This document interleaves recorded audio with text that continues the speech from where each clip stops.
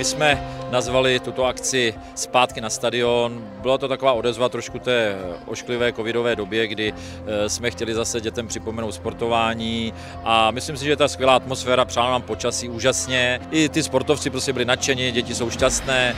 Eh, já samozřejmě chci poděkovat všem pořadatelům, učitelům a především těm účinkujícím dětem nebo těm, těm kterým přišli fandit za to, že se eh, postavili za naší akci a myslím si, že nám to prostě ten výsledek a celý, celá ta atmosféra bohatě vrátila. Jsem ráda, že tato tradice pokračuje dále. Dřív jsem tady kdysi taky závodila a vyhrála jsem dost medailí, tak jsem ráda strašně.